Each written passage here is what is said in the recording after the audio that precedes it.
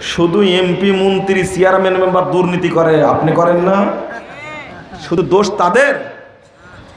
আল্লাহ নবী সাল্লাহ সাল্লাম বলছেন, ওই ছোট্ট চাদর আত্মসাৎ করার কারণে ও জাহান নামে জ্বলছে, আমি দেখছি। আল্লাহ রাসূল বলছেন আল্লাহ দিন আফসু মোহাম্মদিন বিয়াদিহি ওই সত্তার কসম করে বলছে, যার হাতে মোহাম্মদের প্রাণ রয়েছে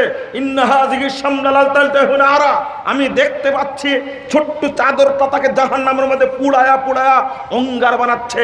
আল্লাহর নবীর এই হাদিস শোনার পরে, আল্লাহর নবীর এই হাদিস শোনার পরে আমি বলি মাঝে মাঝে বক্তব্যে, প্রধানমন্ত্রী যদি এই হাদিস সরকারি আমলাদেরকে এই যারা সুঠাপুনা করে, যারা বিভিন্ন অফিসে বিশেষ করে আপনাদের বাংলাদেশের কিছু জায়গা, বিশেষ করে পাসপোর্ট অফিস, ভূমি অফিস ইনকাম ট্যাক্স অফিস তারপরে সচিবালয়, তারপরে কোর্ট চত্বর, এই এলাকাগুলোর কোনো মানুষের রক্ত হালাল আছে বলে বিশ্বাস হয় না। তবে থাকতে পারে, না হলে ধ্বংস হয়ে যেত। দুই একজন থাকলেও থাকতে পারে, আমি তাকে বলছি না। প্রশাসনে যত দুর্নীতি হয় বাংলাদেশটাকে ভঙ্গুর করে দিয়েছে দুর্নীতির কারণে। আমি বলি যে এই হাদিসটা তাদেরকে পান করাতে হবে, শরবত করে খাওয়াতে হবে, প্রধানমন্ত্রীকে হাদিসটা স্মরণ করে দিতে হবে। মনে রাখো, রাষ্ট্রীয় দায়িত্ব পালন করছ তোমরা। মোহাম্মদ সাল্লাম বলছেন, আল্লাহর কসম করে বলছি, ও যে চাদরটি গনিমতের মাল থেকে আত্মসাত করেছে জাহান নামে তাকে পুড়ায় অঙ্গার দিচ্ছে। এই হাদিস শোনার পরে ফাজাবি শিরাকেন অশিরাকাইন একজন সাহাবি এসে জমা দিচ্ছেন একটা ফিতা আর একজন সাহাবি জমা দিচ্ছেন একটা সুতা। জমা দিয়ে রাখছেন আর বলছেন, আল্লাহ রাসুল এটা নিয়েছিলাম গনিমতের মাল থেকে, এটা দিয়ে গেলাম।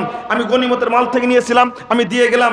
নবী মোহাম্মদ সাল্লাহ সাল্লাম ধরে বলছেন, শোনো শিরাকুন মিনান্নার শিরাকান মিনান্নার এই ফিতা, সুতা যদি তোমার কাছে থাকতো, এটাও তোমাকে জাহান নামে নিয়ে তোমাকে পুড়ায় মারতো।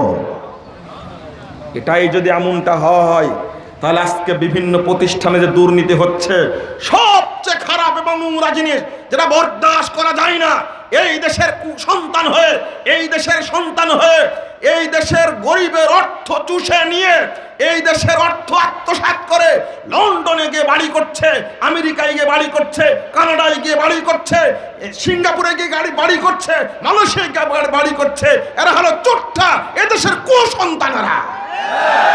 যদি কো সন্তান না হবে, এ দেশের অর্থ চুরি করে নিয়ে কেন তারা অন্য দেশে নিয়ে যাচ্ছে? অর্থ পাচার করছে।